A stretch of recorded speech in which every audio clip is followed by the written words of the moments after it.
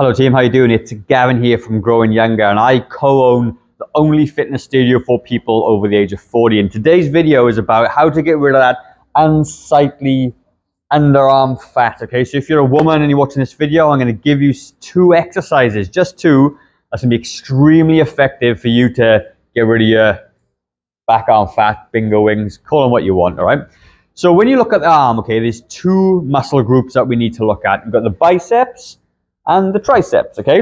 So the biceps, for a little bit of anatomy, if you're kind of interested, is how to bend the arm that way, and the tricep, extend the arm that way. And if you really, that's all the elbow joint does. It bends and extends, bends and extends, okay? So for you to, A, get rid of that unsightly back arm fat that you want, then really there's two ways to do it. You can exercise and you can reduce your calories to reduce the amount of body fat on your body, okay? So I'm not gonna talk about diet in this video. I'm gonna give you the exercises that you need to be able to build those arms, tone them up, be stronger as well at the same time, and then when you do eventually lose that body fat, you've got the nice lean muscle underneath that you can show off to the world and looks fantastic. So today what we're going to use is a kettlebell, okay? And a kettlebell, I love this, this, uh, this um, bicep exercise with the kettlebell. What you're going to do, you're going to grab the kettlebell, you're going to hold it like that, and you're going to clasp your hands on this, okay? And what you're going to do, you're going to extend the arms down, and you're going to do side to side. You're going to curl it up to one side, take it back down, and curl up to the other side, and take it back down. And what you get is a really natural sort of movement that you get with your arms, okay? And you really start to feel that one bicep on each side start to work. It means you can carry a little bit of extra heavier weight with this one as opposed to just single arm curls, okay? Because you've got two arms helping. But it's a fantastic way to overload those biceps.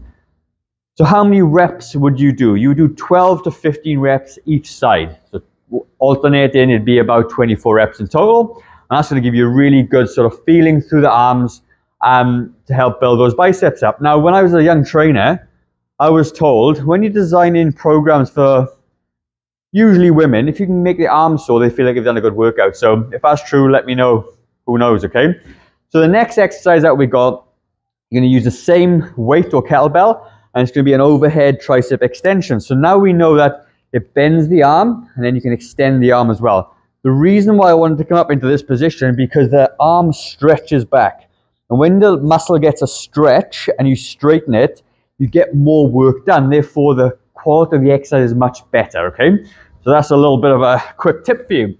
You're gonna grab the kettlebell, take your arms up, drop it behind your head, and extend straight back up. Behind your head, straight back up.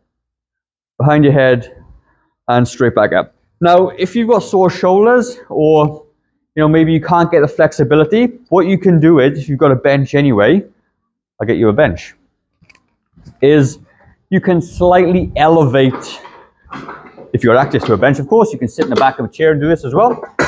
If you can elevate this up just a little bit, and what you're going to find is it puts you in a better position, okay? You can take it behind the bench and you can extend it back up. Take it behind and extend it back up. It just puts your arms in a better position for you to be able to do the exercise, okay? But you can play with it. Ultimately, if it does hurt, don't do the exercise, okay? Um, see a physio, see a professional, that's all cool, and get it done. So with these exercises, you want to be doing about three sets, 12 to 15 reps of each exercise, about two to three times a week. Because at the end of the day, if you're not doing anything right now, then anything more than what you're doing, if nothing, is going to be better for you. Okay, so that's kind of what you want. Um, also, before I go, there's a link down below which is a submit a question. Okay, so what I want to try and do really is provide as much information to you guys as possible. And the only way I can do that is for you to fill out the form to ask your real questions.